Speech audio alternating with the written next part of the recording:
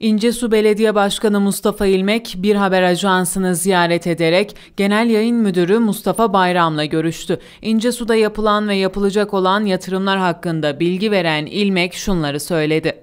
Evet, öncelikle bir haber ajansını bugün ziyaret ettik. Kayseri kamuoyunu doğru yönlendirme adına, ihtiyaçları kamu kurumlarına doğru iletme adına e, tebrik ediyorum öncelikle. Tabii biz bahar çalışmalarına başlayacağız. E, tabii bu yıl e, çok şükür ki e, yoğun bir kar aldık. Daha hali hazırda belediye İncesu Belediyesi olarak kar çalışmalarımız devam ediyor. Bunu bitirdikten sonra tabii biliyorsunuz Ramazan ayı gelecek. Ramazan ayında ihtiyaç sahiplerimize ulaşmaya çalışacağız elimizden geldiğince. İnsanların ihtiyaçlarını gidermeye çalışacağız. Bayramdan sonra ilk etkinliğimiz 8 Mayıs Anneler Günü. Sosyal, içtimai anlamda İncesu'yu geliştirme adına.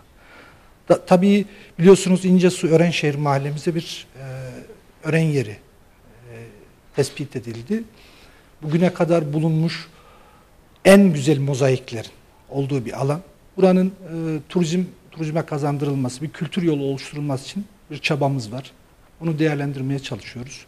Tabii İncesu Belediyesi'nin, daha doğrusu belediyelerin mutat çalışmaları olan işte asfalt, parke, yol düzenleme çalışmaları zaten devam edecek.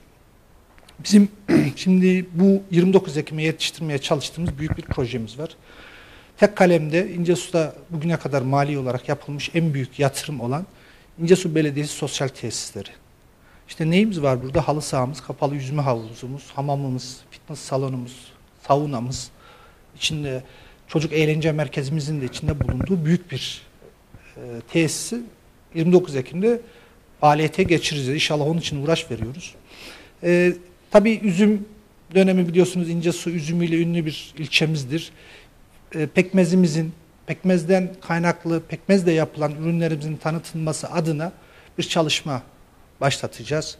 İnşallah daha güzel yere gelir İncesu pekmezi. Ee, pekmezimizin niteliği itibariyle ben o zaman da söylemiştim koronanın ilacı diye. Hala da iddialı bir şekilde söylüyorum. Koronanın ilacı İncesu pekmezi.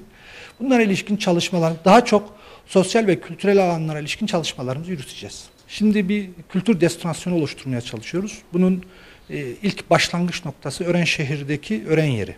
Devamında Kara Mustafa Paşa Külliyesi, e, tarihi İncesu mahalleleri yürüyüşü, bunun bitiminde İncesu Kilisesi. İncesu Kilisesi'nin restorasyon ihalesi bitti. Yer teslimi yaptık. İncesu Kilisesi'nin restorasyonu yapılıyor. Böyle bir tarih yolunu, kültür yolunu oluşturuyoruz.